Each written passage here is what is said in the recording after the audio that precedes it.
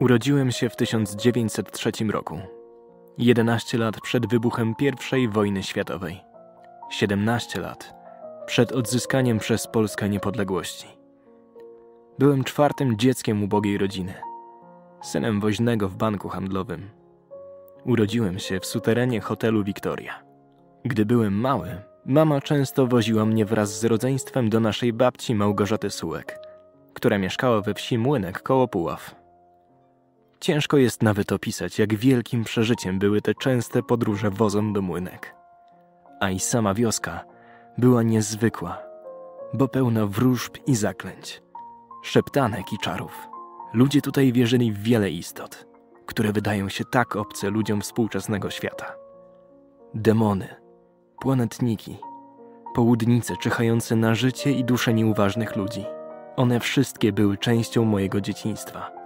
I to była magia, która przeniknęła i do mnie, i natchnęła później moją poezję, której, jak wiadomo, często nawiązywałem do ludowych zaklęć. Gdy wybuchła wojna z bolszewikami w roku 1920, ja, tak jak mój brat Stanisław, wstąpiłem do wojska. Mój brat dostał się do niewoli. Ja natomiast miałem więcej szczęścia. Udało mi się szczęśliwie przeżyć i wrócić do mojego rodzinnego Lublina. Tak się akurat złożyło, że dowódcą mojej kompanii był Stanisław Wójcik, właściciel drukarni, który później bardzo mnie wspierał, a nawet wydrukował pierwsze wydanie reflektora. W 1921 roku zacząłem pracę jako nauczyciel w Bracławiu, skąd następnie przeniesiono mnie do Słubudki. Niezwykłym doświadczeniem było mieszkanie w ojczyźnie Mickiewicza, bo przecież Słubudka leżała w jego rodzinnych okolicach. Dane mi było podziwiać piękno tego kraju, podziwiać te same ziemie, które sto lat wcześniej zachwalał Mickiewicz. Piękno tej krainy odcisnęło się głęboko w mojej poezji, chociaż przecież były to obce mi strony. W 1923 roku razem z Wacławem Grelewskim i Konradem Bielskim wydaliśmy pierwszy numer literackiego lubelskiego czasopisma Reflektor, do którego piękną okładkę zaprojektował mój przyjaciel, Jan Wydra. Wtedy też miał miejsce mój debiut. W tym właśnie czasopiśmie opublikowany został mój utwór prozą Opowieść o papierowej koronie.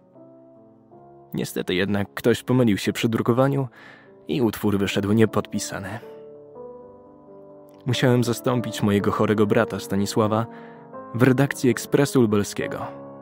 I tak właściwie zaczęła się moja praca jako dziennikarza. Miało to miejsce w 1925 roku. Rok wcześniej zdarzyło mi się tam opublikować mój wiersz Piłsudski. Tym razem udało się opublikować go już z imieniem i nazwiskiem. I tak właśnie, od rozpoczęcia pracy w Ekspresie Lubelskim, dziennikarstwo obok pracy nauczyciela – stało się ważną częścią mojej kariery. Piłsudski Śnieżne konie, śnieżyca po świętym Marcinie. Zamieć dom tratowała, a dom mocny wytrwał. Dawny czas w zegarach, szafach, skrzyniach. Litwa, Litwa. Pryzmaty dachów tkwiły w wonnych ścian zrębie. Dachy strzegły i drzwi i serce okiennic. Ganek raźnie skrzykiwał do siebie gołębie, prowadząc na ogródek ze sosnowej sieni. Jezioro Sine wolno szło do brzegu, usypiając fale jak dzieci. W domu dzieci bez kołysek kołysał spod śniegów, jęczący nieustannie rok sześćdziesiąty trzeci. Inny teraz rok czoło marszczy się inaczej. Rusztowania maszty na dwadzieścia pięter mur.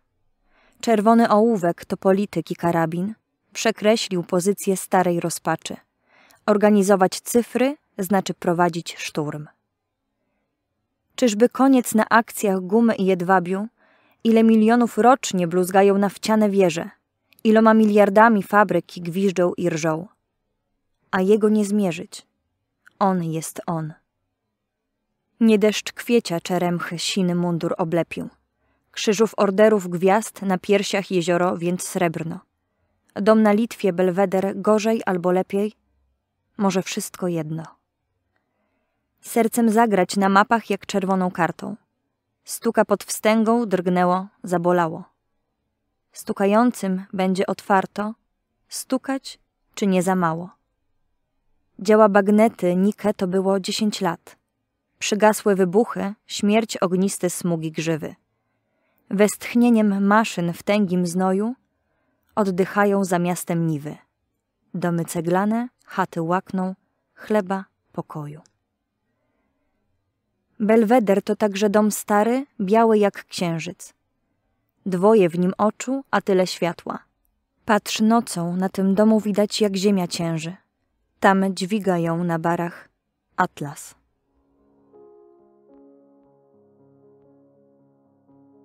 Wtedy właśnie, szczególnie istotna ze wszystkich ulic Lublina, stała się dla mnie ulica Kościuszki. Było tam kilka redakcji czasopism, w których pracowałem.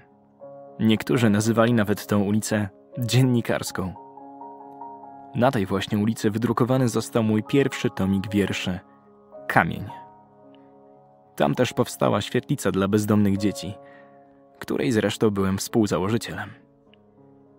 W tym okresie bardzo wpływała na mnie poezja Apollinera, francuskiego poety polskiego pochodzenia, który umarł na wojnie w roku 1918. Pod wpływem jego poezji, tak jak Apolliner, zaprzestałem używania znaków przestankowych. Co ciekawe, wiersze Apollinera przesłał mi sam Adam Warzek, który zdobył sławę jako tłumacz m.in. Horacego, Rimbauda.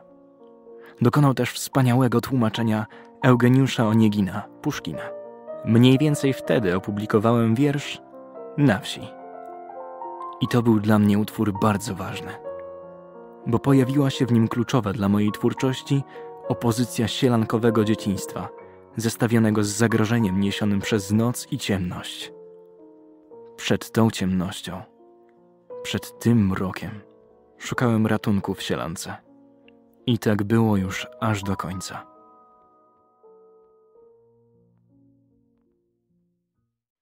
Józef Czechowicz na wsi. Siano pachnie sianem. Siano pachniało w dawnych snach. Popołudnia wiejskie grzeją żytem. Słońce dzwoni w rzekę z rozbłyskanych blach. Życie, pola, złotolite. Wieczorem przez niebo pomost, wieczór i nieszpór. Mleczne krowy wracają do domostw, przeżuwać nad korytem pełnym zmierzchu. Nocami spod ramion krzyżów na rozdrogach sypie się gwiazd błękitne próchno. Chmurki siedzą przed progiem w murawie. To kule białego puchu, dmuchawiec. Księżyc idzie srebrne chusty prać. Świerszczyki świergocą w stogach. Czegóż się bać? Przecież siano pachnie sianem, a ukryta w nim melodia kantyczki tuli do mnie dziecięce policzki. Chroni przed złem.